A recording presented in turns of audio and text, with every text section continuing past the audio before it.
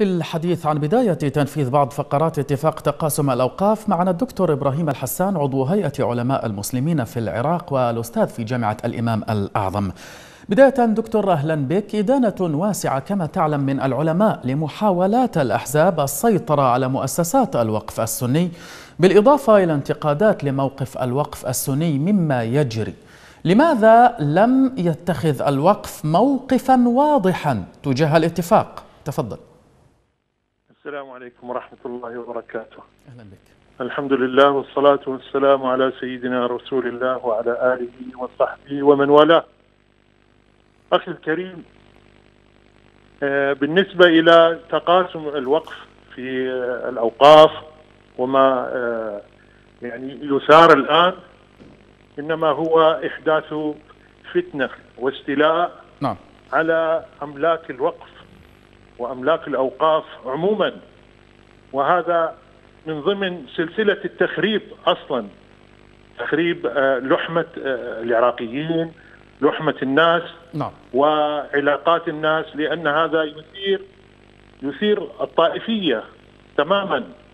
وكذلك آه، بالنسبة إلى الوقف السني. نعم. وعدم آه، الوضوح في في فيما يجري أو الوضوح في اتخاذ موقف واضح تجاه الاتفاق. نعم.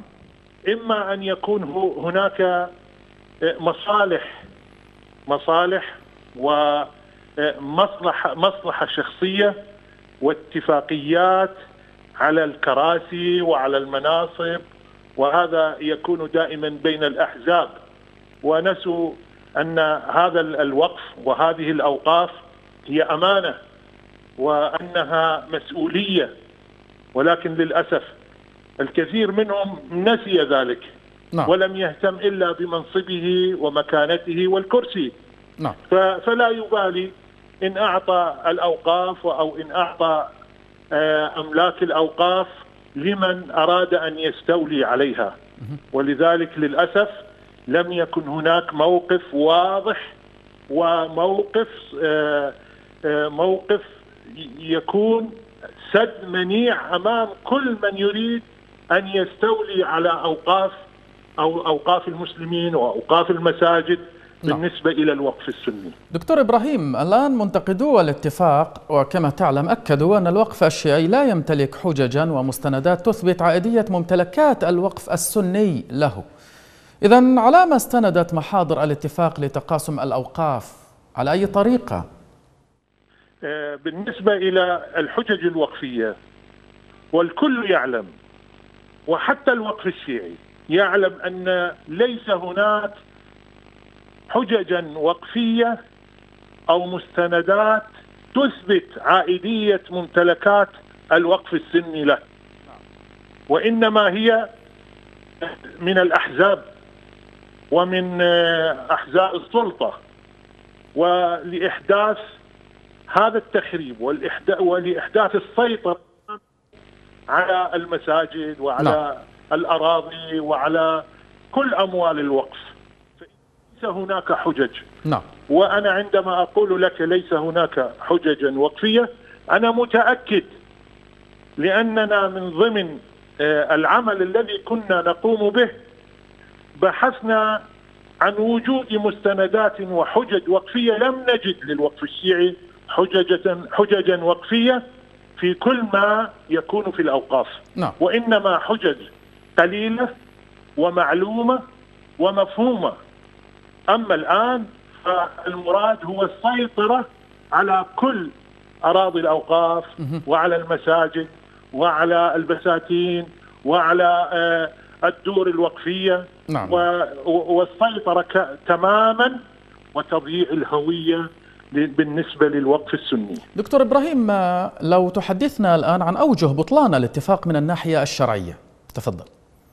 بالنسبة للناحية الشرعية أنا عندما أريد أن آه، أوقف بيتا أو أوقف مزرعة أو أوقف آه، أرضا نعم. وهذه الأرض والمزرعة والبيت والمسجد. عندما أنوي أنها تكون وقفا نعم. فقد خرجت من ملكيته خرجت من ملكيتي ولا يجوز لأحد مهما أوتي من قوة من سلطان من قانون لا يجوز له عنه وهذا في كل قوانين الأرض وفي شرعنا الإسلامي وفي فقهنا. هذا معروف. لا يجوز لي أن أتلاعب أو أن أتصرف إلا بالوجوه الشرعية. فعندما آتي وأسيطر أو أسرق أو آخذ أو, أجعل يدي على هذا المال أو على هذه الأرض أو على هذا المسجد نعم. وهو وقف هذا مخالف تماما للقانون وللشرع وللأخلاق وللإنسانية. نعم. اذا لا يجوز لي أن أضع يدي على أي وقف ولا يجوز لي التصرف في ذلك. فالمراد الآن هو تضييع هذا التراث الكبير العظيم لأوقاف المسلمين الذين أوقفوا أراضيهم وأوقفوا بساتينهم وأوقفوا دورهم وأملاكهم لله لخدمة الدين لطلبة العلم للأرامل للأيتام. لأعمال الخير نعم. فياتي بالتالي يأتي إنسان أو حزب من الأحزاب أو سلطة وتتلاعب بهذا وتضع اليد في هذا هذا لا يجوز شرعا ولا يجوز نعم نعم.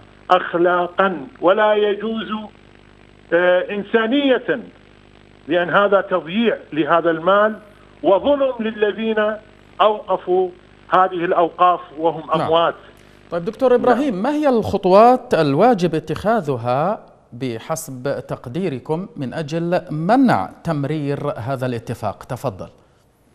والله يا أخي الآن هي مسؤولية مسؤولية الجميع مسؤولية الجميع. اولا مسؤولية أمام الله وهذا الكلام يوجه لي ولكل عالم ولكل طالب علم ولكل إنسان شريف غيور أن يقف أمام هذا المشروع وأن يقف أمام خطوات هذا المشروع التي صدرت وتصدر من أحزاب السلطة أو الأحزاب.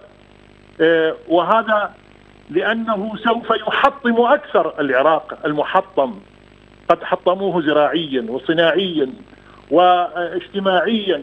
والآن يريدون أن يحطموه وقد حطموه. آه، يريد أن يتبعوا بهذه الخطوة ما حطموه في هذا البلد. اذا لا بد من من وقفة للكل لكل لكل المسلمين أن يقفوا أمام هذا المشروع. ولا يعذر أحد لا يعذر العالم ولا الخطيب ولا الإمام ولا المسؤول ولا الحكومة ولا كل من له كلمة نعم. لا يعذر أمام الله أن يمرر هذا المشروع في تحطيم الأوقاف والاستيلاء على الوقف السني من قبل أناس لا يعرفون الحلال والحرام لو كانوا يعرفون الحلال والحرام لتوقفوا عن ذلك وإنما هي مؤامرة لتخريب هذا البلد وللسيطرة على أوقاف المسلمين. شكرا جزيلا لك دكتور إبراهيم الحسان عضو هيئة علماء المسلمين في العراق والأستاذ في جامعة الإمام الأعظم.